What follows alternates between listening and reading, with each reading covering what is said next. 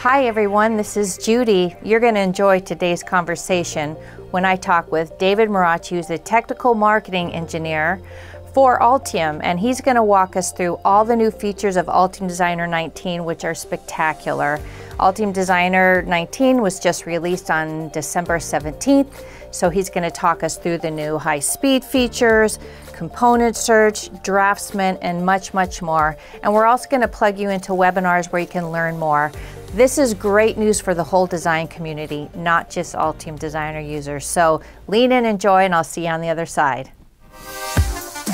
Welcome to Altium's OnTrack podcast, where we talk to leaders about PCB design tackling subjects ranging from schematic capture all the way to the manufacturing floor. I'm your host, Judy Warner. Please listen in every week and subscribe on iTunes, Stitcher, and all your favorite podcast apps. And be sure to check out the show notes at altium.com forward slash podcast, where you can find great resources and multiple ways to connect with us on social media. Well, David, it's great to see you. I see you're hailing from where? Rochester, New York, or in that area? Yes, yes, that's correct. Well, welcome to the podcast. Even though we're we're colleagues, it's it's fun to talk to you. I don't get to see you that often, so I'm looking forward to this conversation. Yeah, the same here. I've, uh, missed everyone since I moved out to uh, Rochester, and uh, this is a nice opportunity to get to see you and talk to you. So, why don't you, for our audience, just give a little bit of background on um, your your technical background and your history um, in the industry, and also what your role he- is here at Altium? Sure. Uh, well, I have uh, about 19 years combined uh, experience of engineering and marketing, uh, but the bulk of it is about uh, in the double E. I was electrical engineer for about 14 years. Uh, I've worked in small, medium sized, and big companies from companies that were, I remember, with like 10 people. Um, at the end of the year, I remember we were like 30. We were growing really fast. Of course, that's 300% to companies with uh, 100,000 employees. I worked in uh, different uh, uh applications: uh, home automation, IC testing, military, and medical so wide spe- spectrum in terms of how stringent the PCB design and the and just the design in general were. I, and I can say I really enjoyed working more in smaller companies. Uh, the reason being, uh, I, I, wore many hats. Uh, I was the guy doing the requirements from the customers uh, doing the design, schematic capture, laying out the PCB, sending the documents to manufacturing, uh, ordering the parts, uh, soldering the parts when uh, when they get back, uh, develop the test fixture with things like software like LabVIEW, build the firmware, and test and of course sometimes they had to do the mechanical design and closure. So so it, it was it was fun wearing all those hats and uh, working for a smaller company and uh, although I miss engineering, I think the best part uh, was the marketing because I got to learn to listen to the customer and see things uh, differently from their perspective. And here in Altium, uh, I'm responsible. I'm, uh, my title is a, a senior technical uh, marketing manager or engineer, depends whom you ask. But we do both. Uh, we are uh, dev- um, we're responsible for developing most of the content you see online in terms of either visual, written, or even sometimes building designs that, that we showcase and and the, some of the demos or the webinars. So I'm sure a lot of engineers have seen my face and heard my voice uh, mm-hmm. on our website. So. Yeah, well, we're glad to have all that rich technical background because you bring a lot of really great content Thank for you. our customers. So we are very glad to have you. So, you. Uh, when about this should be released um, next Tuesday, I think on the 18th, which will be one day after drumroll please the release of Altium Designer 19 and I know David you've been recording um, some live webinars and some of those mm-hmm. will become available online so um, for our listeners just know that David will be uh, will share the links to those so you can catch that live or you can go you know as time allows go and watch those on demand and he'll really dig deep sort of into some of the new features of Altium Designer 19 and what you can expect. So we've added some pretty neat things. So that's why I really wanted to have this conversation with David today is to sort of dig in and learn myself right along with you um, some of the features that are in Altium Designer 19. So, David, let's start out with the one that I'm really excited about, which is some of the high um, the high speed design enablers that are in the tool. Why don't you talk us through those? Yeah, so the one thing that we, we had a major overhaul in AD19 is the layer stack manager. Um, uh, the, the, the, new uh, advanced one has three major things in it an impedance solver, it's state of the art impedance solver, a new material library, and microvias support. And all of these kind of fall into the high speed, uh, high uh, density interface, inter- interconnect, if you will. And uh, why do we need something this good to uh, control the impedance in our tracks? Well, as more designs have uh, signals nowadays with uh, high frequency signals, the tracks that carry those signals needs to be uh, impedance controlled. And uh, maybe I can ask the question backward. Well, what, what if I don't do anything about it? Just leave them the way they are. Well, if you check the impedance uh, on those tracks which in which it's not controlled, you'll see the impedance will vary from point to point. And what that does, it degrades the signal integrity, which leads to uh, malfunctions or just the design not working as it was meant to be. So this new solver uh, relies on the geometry of the PCB and the structure, and that's where the material library comes in. Uh, we're giving access to uh, to our users to a vast array of material, ready defi- predefined materials they can use to uh, select the best they see fit for their application. And because those uh, properties are more accurate, they yield a better impedance control calculations. And it's very simple, very easy to use. Uh, the user will, can create profiles for 50 ohm, for microstrip uh, offset, for all type of uh, tracks uh, for, for the, that, whatever that they have in their design. And um, yeah, go ahead. I have a question about that. So, and again, I'm learning right along with our listeners really about this. Sure. So, when it goes into material properties, you know, I have a background um, really with high performance RF and microwave and millimeter wave circuits, and I know that, as you said, not only the impedance but the materials come into play. But the other thing that comes into play is the type of copper, right? Whether it's mm-hmm. rolled annealed or electrodeposited. Yes. Does yes. does our set sort of take some of those things or put those sort of into yes. your it does okay yes the material library it's you can select uh, from uh, the type of copper the weight from the prepreg, the core i mean anything you can think of and it's uh, for those uh, instances where for example uh, we don't have that exact properties that you're looking for you can sim- simply get them from your manufacturer and add them to your library by a single button that's called new so oh we'll wow! So you can input yeah. unique, and, and there's always new materials, and it seems like the yes. material side of the business is wow, gotten a little yes. crazy, and there's always new materials coming out. I know Megtron's yes. become big. Um, and yep, there's yep. it's just there's so many materials it's hard to keep up yep. i i yeah, really yeah. so how great to have that and then yeah, to have the impedance solver together to me that's really exciting yeah, and on top of that, the microvias supports, of course, blind and buried vias. And uh, of course, the reason we recommend designers to use microvias when they can is as uh, for the last 10 years, we've seen this mini- miniaturization of PCBs as microvias uh, increase the connect- conductivity and decrease the number of layers, and gen- generally in any PCB. So uh, we support stacked microvias. Uh, staggered, they're limit- limited support uh, if you will. They can uh, place uh, microvias as they will anywhere in the design. but if they want them to have stacked automatically, we support that as well. So very, very neat. Uh, they can add uh, as many profile, micro vias profile as they need. And in the webinar, we go, we do like a deeper dive uh, to show how they're used and how they can be leveraged during interactive routing.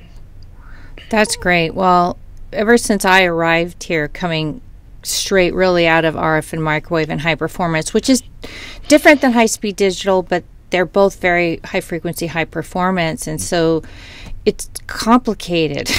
it's very complicated. It and so when I got here and did found out that they weren't available, and I came out from swimming in those deep waters. I'm like, we need to get that. So yep. I kind of have like a little bit of personal skin in this game. You know, glad that that we're bringing this on, and I'm sure that yeah. You know. Um, I know Ted Pawela, the CEO, had said to me, and then we're going to keep building on this, right, in future releases. Yep. So, um, absolutely. So this is kind of our foundational yeah, uh, absolutely. First steps, and so it's exciting. So I know another thing we have is um, new component search. So why don't you tell us a little bit about that and and and why that's important yeah. and how that's going to benefit designers? Absolutely. So we have uh, two new panels. Uh, one is for a new part search, manufacturer search, and a component search. So the new part search is uh, is probably going to be used mostly in the early phases where designers are looking for new components. And from practice um, uh, and experience, it can be a very agonizing phase of the design because you're not only looking for a part uh, that works, that means the requirements. I mean, that's a given. You're not going to use, uh, I don't know, a 10-bit, eight, eight, uh, you know, digital to uh, analog converter where your application requires 16. You have to use 16. That's that's a given.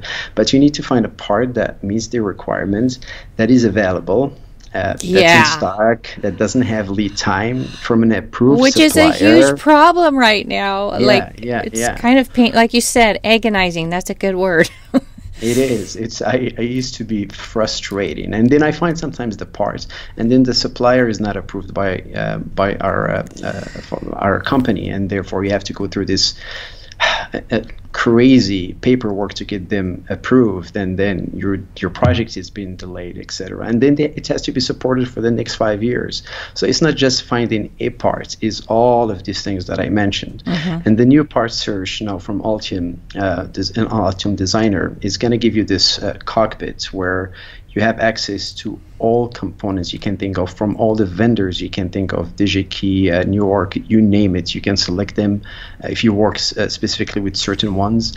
And uh, in this cockpit, you can uh, do, for example, global search. If you want to just uh, search for a particular part number, it pops. I mean, maybe in less than a second you you have the part there with the model with the data sheet with stock with pricing, you name it.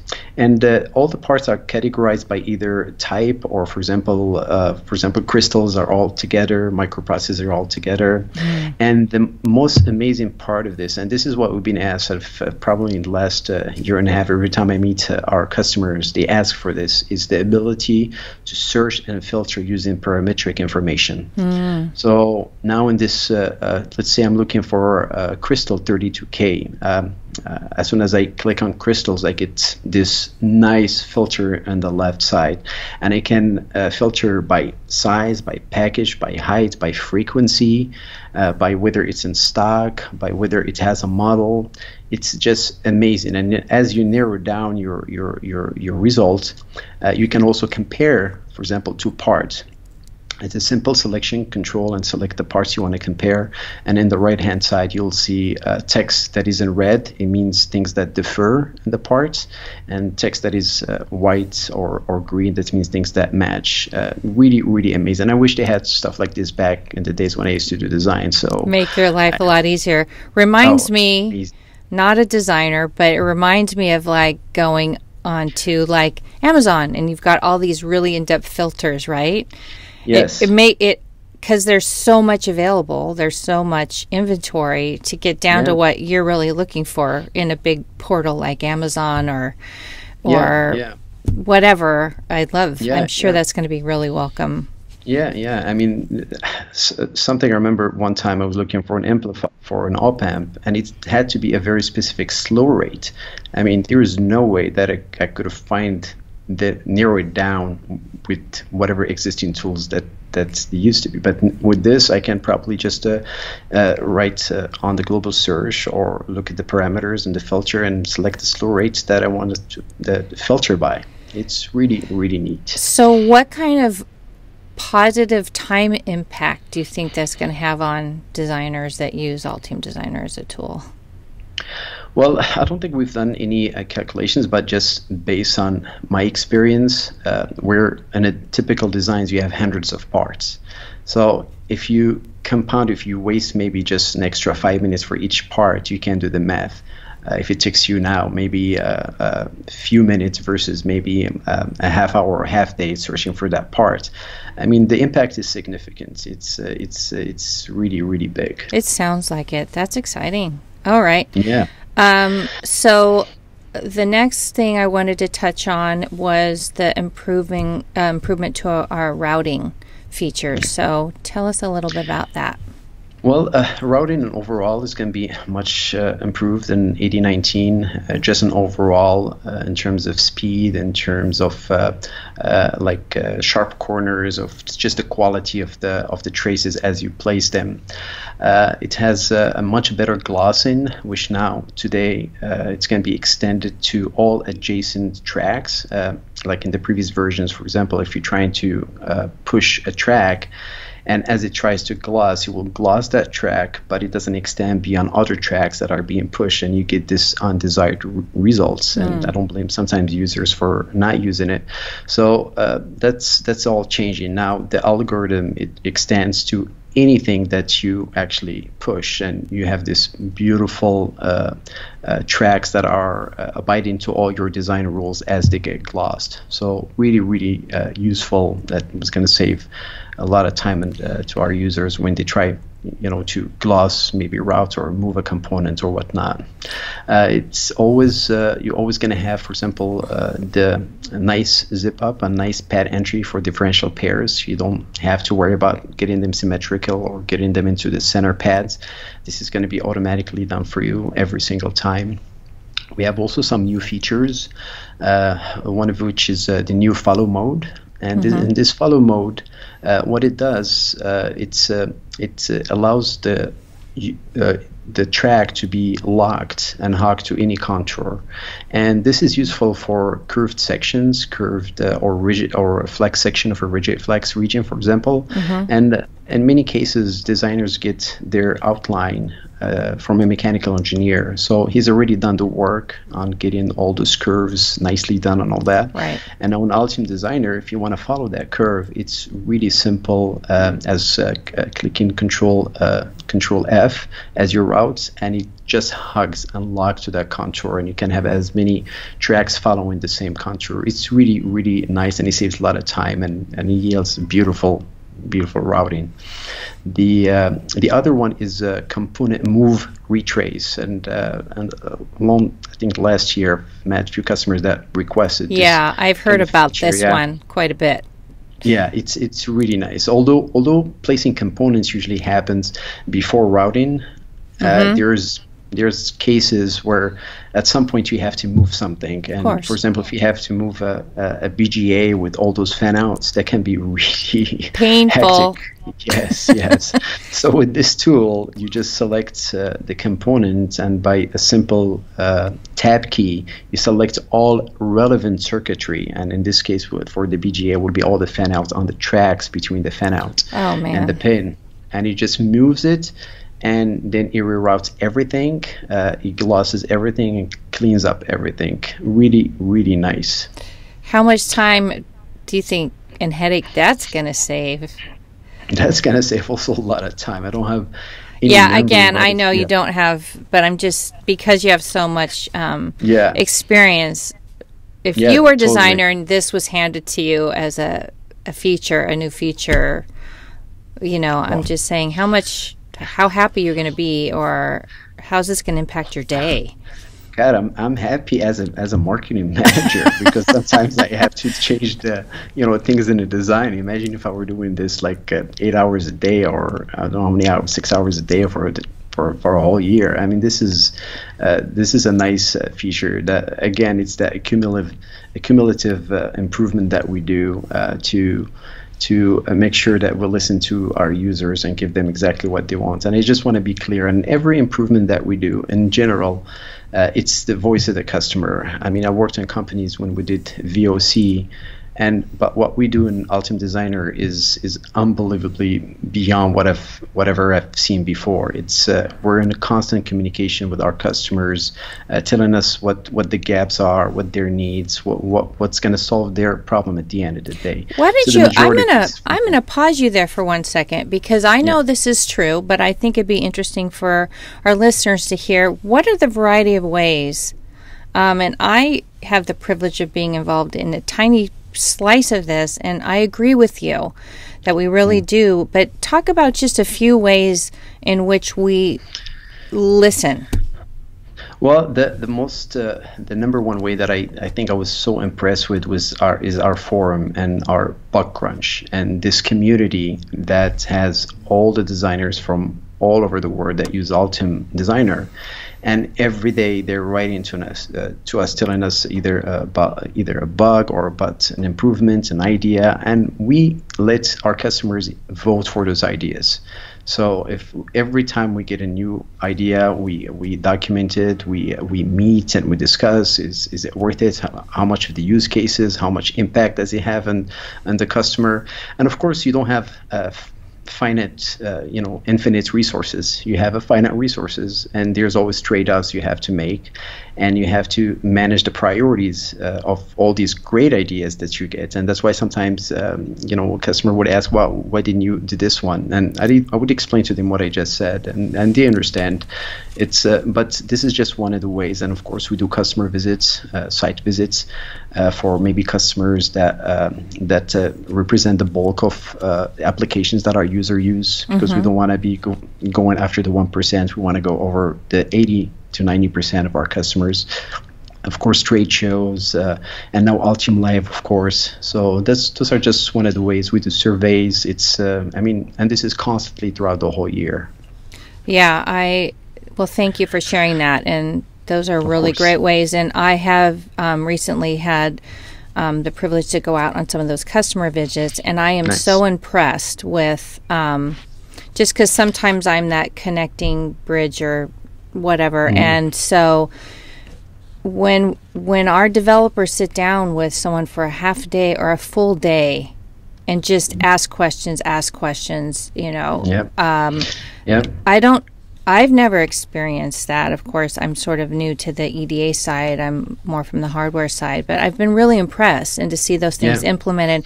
And I think some people get frustrated with our bug crunch, not because we're not doing it well, as we don't communicate actually what we're doing. And um, I was talking to uh, one of our developers yesterday, and he was just saying that we, a, a massive amount of the bugs that are filed have under seven votes, but we will respond to everything over seven yes. votes. But say we have 10,000 bug crunch mm. requests in, only 1,500 of those will have more than seven votes. So, mm. like you said, it's limited resources. We try to hit everything, but um, we're actually doing a good job, and I think we're going to do better in this upcoming year about yes. communicating that. Because, like you yeah. said, some people are like, "Why didn't you fix my bug?" And I'm like, it just didn't have sufficient votes or you know it's kind of like majority rules right it's yeah and yeah and we're not we totally don't want to ignore that even no. that one person who asked that yeah. and it's uh, and it's and and the good thing is about Altium, since we moved to Altium Designer 18, with the new code base, uh, now the platform is just much more stable than what it used to be uh, on previous versions. And now we have a lot more time and more resources, more resources available to actually work on whatever that needs to be worked on. And and mm. it's going to be exponentially. Uh, getting better versus uh, previous versions, and uh, and our customers know this too. That's great. That's great news. Okay, well, there's the next feature I wanted to talk about, which is Draftsman, which has been popular, but you said until now it hasn't quite been ready for prime time, but it is now. So tell us what you mean by that. Well, uh, what I mean with that is just in terms of performance. We uh, we were really wrapped up the, the performance of uh, Draftsman, and, and now it can be used without any issues, without any bugs, without any um, any any issues in general whatsoever. And uh, we also added a lot of uh, new features to it, uh, things that our customers have requested, like for example the ability to turn on and off layers in the assembly and fabrication drawing views. Mm uh, exactly similar to what in the PCB editor. Uh, it was a really great idea, and we implemented it. Uh, the ability to add now custom tables that customer wanted. We added also new views, like for example, a realistic 3D view of your design, and this is uh, again uh, hovers around documenting your project and being to communicate the design intent exactly with your manufacturer. So we're given all these tools to be able to do that. And uh, every time I show it to someone who hasn't seen Draftsman, they get impressed. And uh, we're working on making sure to communicate what tools are available in Altium Designer that our uh, uh, users are not aware of. So that's why we started all these webinars, all this oh, uh, reach out to our user base. So, yeah. are you when you are doing these webinars? Are you doing them by feature? Are you doing them globally, or or both? How are you presenting them? Good question. Uh, we're doing both. Uh, for for example, the AD19, or of course, we're just highlighting what's new. But we have separate webinars that I would recommend all our users to to check out. One there's one specifically for Draftsman, oh, so it takes a deeper dive, and one specifically for uh, multi-board one specifically for uh, part and component search, one specifically for project manager releaser, for example. So we're doing overall uh, global to give a, a, you know just a thirty thousand view, if you will, of the mm-hmm. of what it, what if it can what it can do. Mm-hmm. But we also have these deeper dives to learn more about its capabilities. And I always get asked, uh, uh, is that how much is it to to get that additional feature. And I always say, you know, I laugh. I say, well, I'm not sure if you guys can afford it, but it's free. so I know. I yeah. love that we add all this functionality, but they're like, oh, great. What's it going to cost? I'm like, nothing. It's just part of the tool. Yeah. So yeah, it's Make, it makes you feel like the good guy, you know, which is really nice. Yeah. You, you know, I I want to mention there at Draftsman. So I, I had left the industry for a while, and when I came back, one of the things that were was as a fabricator that stood out to me as such a stark difference from when I left and came back mm. was the lack of documentation. I'm like, yep. how can you even build this and know? Because you're just yeah. slinging stuff in back like readme files and yeah. or conversations like there's not like there used to be really um, clearly stated uh, documentation packs all, although it, back yeah. in the day they were more um, they weren't done digitally yeah, uh, uh, uh, so they were done by draftsmen or whatever I'm dating yes, myself yes. now. But anyways, so I love that this is being built in because I think it's actually helping reinstate the quality of a really good data package, which means exactly. better product. Your yeah, your design yeah. intent is really clearly communicated. So as a ex fabricator, yay on yeah, Altium for for working and, and on that piece. And documentation never been uh, like a the highlight, uh, you know, of the day in, in, for an engineer. It, it's something Ugh. that I had to do. Right. I hated doing it, but I had to do it. Right. So if you make it easy for me and simple and seamless and streamlined, oh, that's beautiful. That's a good point. Okay, moving along, we got a couple more I'd like you to touch on. The next one is multi-board. Now we've introduced multi-board in 18. So mm-hmm. what have we added here in Altium Designer 19? Well, uh, you're right. So we added in the last uh, version of Altium Designer with 18, and uh, we set up the foundation for what comes next uh, because we know that at the end of the day, designers are not designing just PCB, but they're making a final product, a mm-hmm. product that's going to be felt and touched and whatnot. So we're building on top of that with the, a new 3D kernel, a very very fast 3D kernel that uh, and users that have been now playing with the open beta, they, they say that it's just a lot faster now to move the the objects and the 3D uh, sphere. It's it's really really fast, uh, which allows for fast collision check, uh, much improvement measurements between components and to ensure the height and whatnot, uh, and a beautiful new sectional view that allows you really to uh, rotate the view in any direction and any angle uh, to again to ensure the fit, form, and function of your product. And the other major thing that was added was true what we call true mate, and uh, this is what designers are already accustomed to in term in the MCAD world, which is uh, easy to mate two objects by uh-huh. selecting a single point in each object. So uh, no more multi steps. It's just uh, simply selecting one object. You enter the mate mode and you select one object and then select the other and specific side, whatever the side you wanted to mate, and boom, they get mated instantly. Nice. Really, really nice and fast, yeah. And we also uh, added that rigid flex support and uh, the ability to export uh, the files into Parasolid or step files. Wonderful. Well, I know the ECAD and MCAD just are, the lines just continue to blur. And like yeah. you said, and looking at things more systemically, you know, I love this word yeah. that's come out, mechatronics, right? Yeah. Um, so that's very exciting. I can see how that would be really relative and helpful these days. The last yeah. thing I wanted um, to hear about was we've introduced. Oh, did you want to say something else, David? No, no. Okay.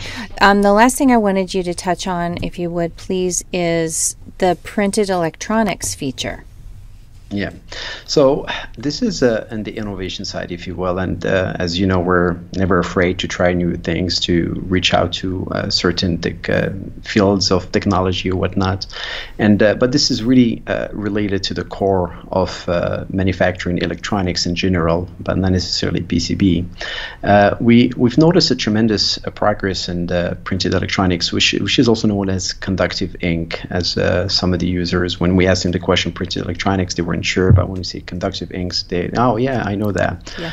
And uh, so we noticed a tremendous progress in terms of uh, uh, materials, uh, like from DuPont, uh, just amazing. And it has been used in the last 30 years. Somehow it remained relevant. And we've noticed some companies also are creating some amazing products, and but without the right tools. And one of these companies is called TactoTek, and they use Altium Designer, and we just seen just these amazing products. Imagine, uh, for example, uh, the car. Uh, the car uh, seat switches that move, you know, the switch forward, backward, and whatnot. Mm-hmm. Uh, a typical uh, car manufacturer will have probably like 30 parts or so, and and uh, it takes time to assemble them. They're mechanical and they look, you know, kind of bulky. Mm-hmm. So they changed that with uh, uh, with an in mold, uh, uh, in, you know, uh, in mold structural.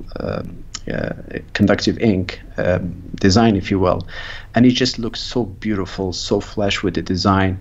Mm-hmm. it takes like 30 I think it's only 30% of the weight. It takes 20%, uh, only 20% of the time to assemble. It's much cheaper to uh, to manufacture, and we thought, wow, this this gives designers some new options with really clear advantages to develop certain applications. Mm-hmm. So we worked on them to develop the MVP, you know, the minimum viable product. We said, uh-huh. well, what are what are the pains that you're going through developing this kind of um, board. So they they told us, and uh, and uh, those who are familiar with this type of design, uh, in, in the PCB you have uh, layer one, layer two, three, and between each layer there's uh, there's always isolation. So you don't have this problem of track from layer one touching a track from layer two.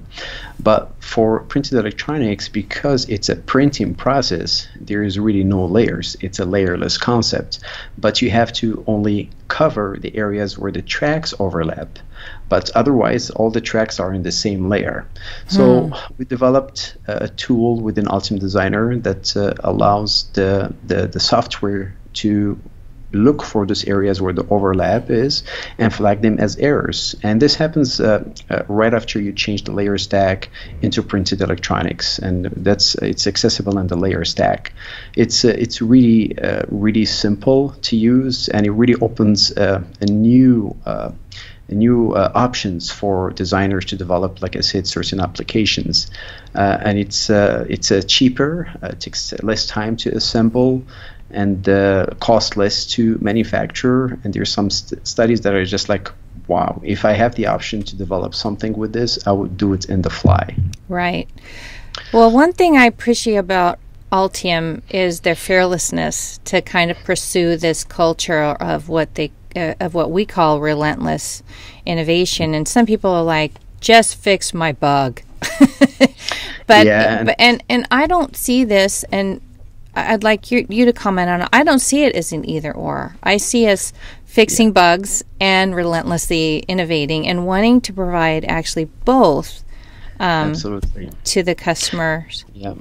And, and and we touched up a little bit on this uh, did. earlier. And uh, I've had a customer, of course, not maybe twice, I think, that uh, told me similar thing, and, and rightly so, because they, from their perspective, they want the tool to work. Um, and I can say that the vast majority of every release uh, we uh, we make is actually increase the performance, which includes uh, always bug fixing.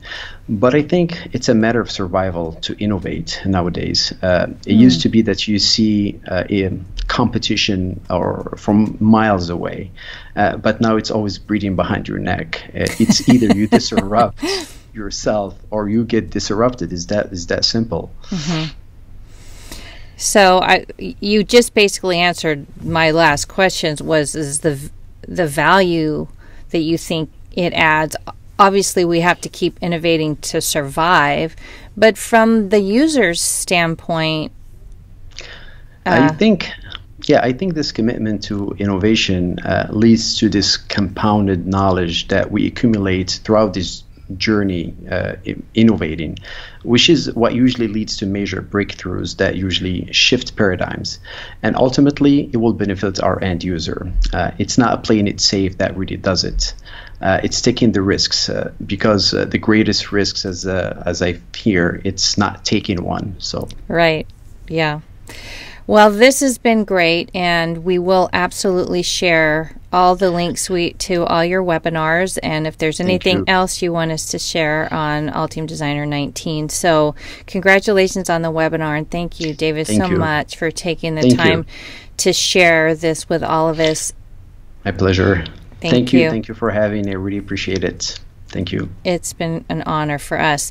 So, if you are an existing Altium Designer user, you can go download Altium Designer 19 today. It's available as of this hearing. Um, if you haven't played around with Altium Designer at all, certainly, you know, climb in, take a test drive, take her for a spin, see what you think. Um, we we're changing rapidly, I would say, over the last five years, and some people that have haven't seen us since then just haven't seen us at all because we've really um, moved forward leaps and bounds. So we invite you to come over and take a test drive. Um, thank you for the audience for joining us today. We always enjoy having you. We'll make sure to share everything in the show notes, which you can find at resources.altium.com forward slash podcast. We look forward to being with you next time. Until then, remember to always stay on track.